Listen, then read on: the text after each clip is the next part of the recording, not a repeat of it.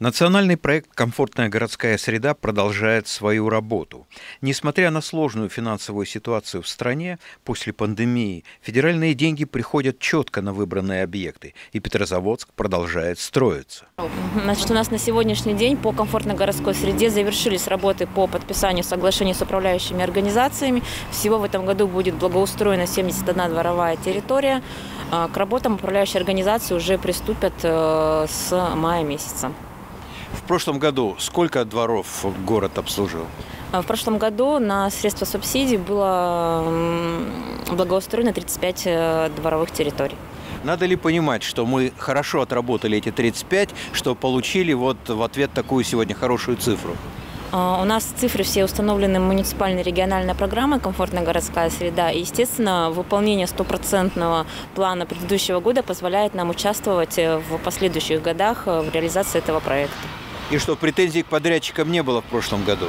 А, все претензии, которые были выданы подрядчикам, они устранялись в установленные сроки программа федеральная, она ориентирована на то, что на активность муниципалитетов. И тот, те города, те э, районы, где эта активность высокая, где есть э, хорошая реализация э, программы, могут в следующих годах ориентироваться на более серьезные суммы внушительные, то есть еще большее количество дворов попадет в эту программу, и, соответственно, эти муниципалитеты, дворы в этих муниципалитетах будут ремонтированы в большем количестве, и люди будут видеть конкретную работу.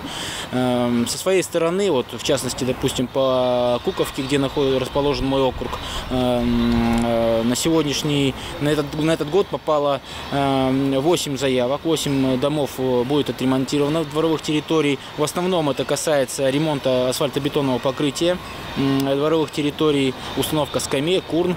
Э, из дополнительных, из дополнительного перечня, как правило, люди выбирают установку ограждений, снос каких-то там аварийных деревьев, э, наоборот, озеленение, установка детских площадок, парковка.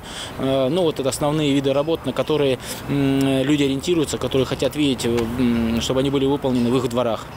На 35 облагороженных дворов прошлого года было выделено 57 миллионов рублей. Город вписался в программу, и уже на облагораживание 71 двора в этом году придет около 130 миллионов рублей.